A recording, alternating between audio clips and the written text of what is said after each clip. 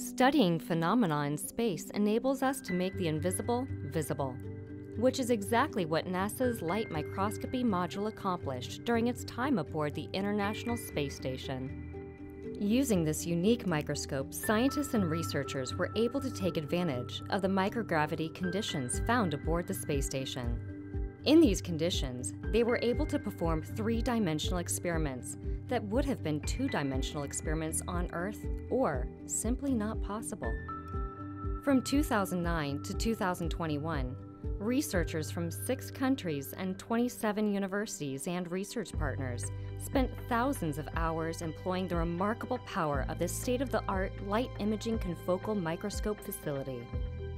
They studied a variety of physical and biological phenomena, such as how matter is organized, can be made to self assemble, and how it behaves on the microscopic level.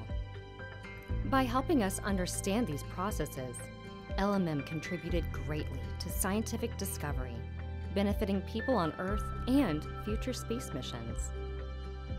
Impacts include innovations in consumer products, better understanding earthquake phenomena, advancements towards the next generation of highly efficient quantum dot sensitized solar cells, improvements in biomedical device technology, and potential innovations in construction materials for use on Earth, the Moon, and Mars.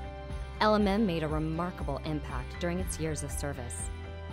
Now, after 12 years of advancing science for all humankind, it's time to say farewell to this microscope that helped change the world.